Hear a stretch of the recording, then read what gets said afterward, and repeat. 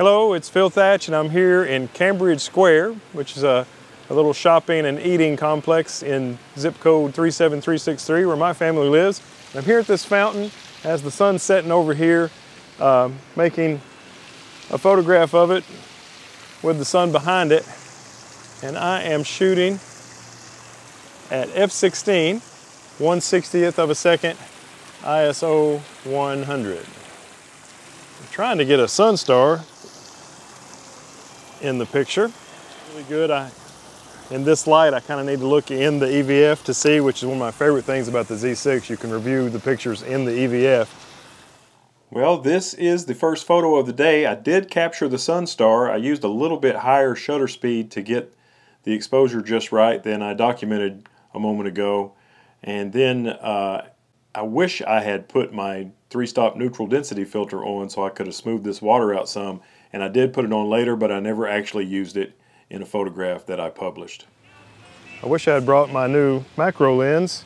I got some really beautiful all yellow lantana flowers here that I'd love to take pictures of, but I did not bring the right gear for that. And Heather's really fond of these beautiful flowers or plants. Trying another shot now, straight at it with the sun setting over there. Manual focus, F16, three stop neutral density, one half second, remote shutter.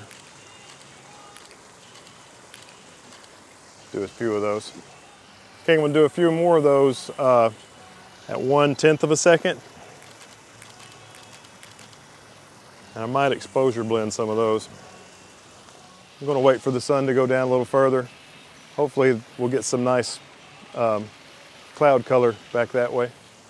Okay, I've let the sun go down a little bit more. I'm going to do two more exposures. The first one's 1.6 seconds. And then I'm going to speed it up to one, one quarter of, uh, no, let's do one fifth of a second. And then a picture of my hand. And then I'm going to go see if Heaven and Ale will sell me a beer to go. Right okay, I'm back from Heaven and Ale, which is right over there on the other side of the square.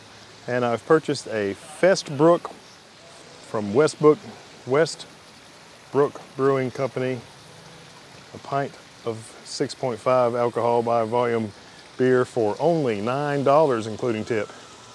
Seems reasonable. Meanwhile, we're getting a lot more color in the sky. I'm gonna do another exposure blend. This time, two seconds. And one sixth of a second. No, I'll just take a picture of my beer. Okay, we're going to do another exposure blend. This one is 1.6 seconds for the lots of light and a fifth of a second to expose for the sky. So it is I think sunsets tonight at 7.23 and it's 7.01, so pretty soon it should start really setting off. There's, there's pretty good clouds back there for, a, for maybe a good looking sunset, I hope. So we shall see.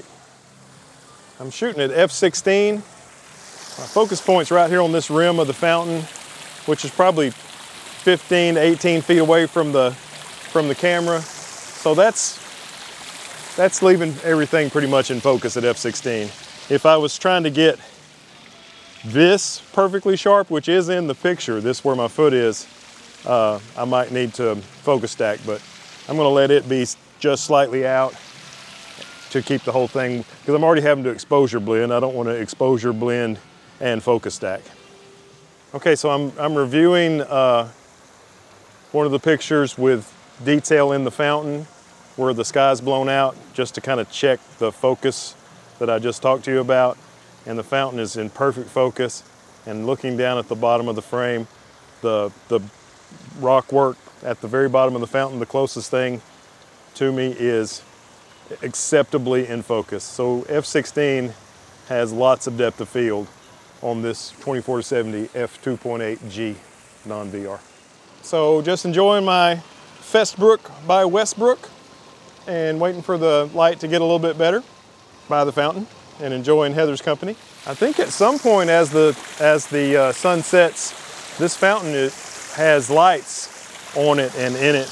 I really, looking at it, I can't see them, but I'm pretty sure I remember seeing some lights in this fountain. I've actually uh, made a photograph of this fountain before and sold it to the folks here at Cambridge Square that they use in a lot of their advertising. Okay, we're doing it again. We're up to three seconds on the bright shot. And one third of a second on the dark shot. Okay, it's getting dark enough now. I'm gonna take that three stop filter off. Probably should have done that a long time ago, huh? Yeah, maybe. Dust all over that thing. So now without the filter, the bright shot is 1 over 1.6, which I think converts to 1 8th of a second. The dark shot with sky detail, I think I'm going to use 1 30th of a second for that. I think it looks cool with the manual focus. Yeah, the uh, focus peaking makes the water fountain water look red. Kind of neat. I continued doing these two-shot exposure blends until finally at four seconds exposing for the fountain and a half a second for the sky, I finally ran into one that I actually liked enough to edit and post. And here is that. I really like the way this turned out. It's such a beautiful place, Cambridge Square, and you should visit someday. It is six minutes after sunset, and we've got some LED lights coming on here on the fountain, and they will be in the shot. And as you can see, there's lights down here in the fountain. And I, I think if I remember correctly, there may be some lights up here too, but I'm not seeing any just yet. Okay, so this will be the first shot with the lights on, and the, the shot where I get plenty of light on the fountain itself is five seconds now with no filter. Still about the same when looking at the sky, a quarter of a second. A lot of the better YouTube photographers like Adam Gibbs and Thomas Heaton have started sharing RAW files so I decided to try that out.